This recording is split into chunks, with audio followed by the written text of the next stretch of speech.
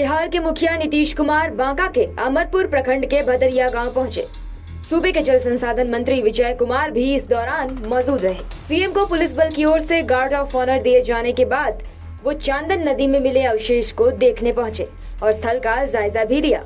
इसके बाद सीएम ने कहा कि अमरपुर प्रखंड का भदरिया गाँव बौद्ध सर्किट का हिस्सा बन सकता है। यहाँ मिला अवशेष राजगीर से मिलता जुलता है, जो करीब 2600 साल पुराना लग रहा है। वही सीएम के कार्यक्रम को लेकर मौके पर बड़ी संख्या में लोगों की भीड़ भी लग गई।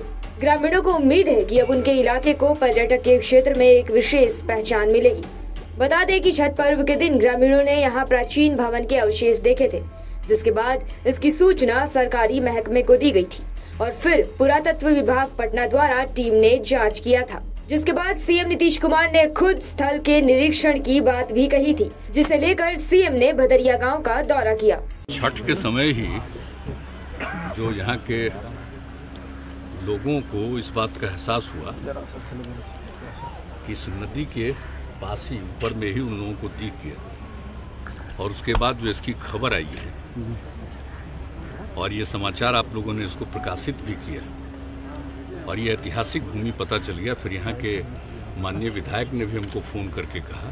हमने कहा, ये तो ऐतिहासिक जगह है और ये आर्कियोलॉजिकल साइट है, इसके लिए तत्काल यहाँ के जो विशेषज्ञ हैं, उनको भेजा जाएगा।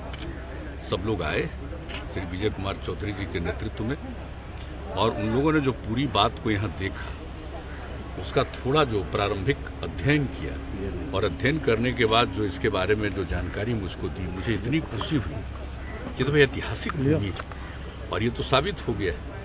इसलिए अब इसको आगे भी और ज़्यादा यहीं पर इसको ठीक ढंग से और देखना होगा और सारी बातों की जानकारी होगी क्योंकि यहाँ के इलाके में लोगों को ये इस बात की जानकारी है कि यहाँ पर भगवान बुद्ध भी आए थे।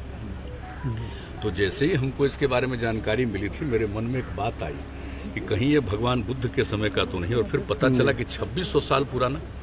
तो मतलब तो वही हो गया। और फिर यहाँ के गाँव के बारे में भी जब बात पूरी जानकारी मिल गई है तो बहुत आप समझ लीजिए, जो ऐतिहासिक बात है, वो बात अब सामने आ जाएगी।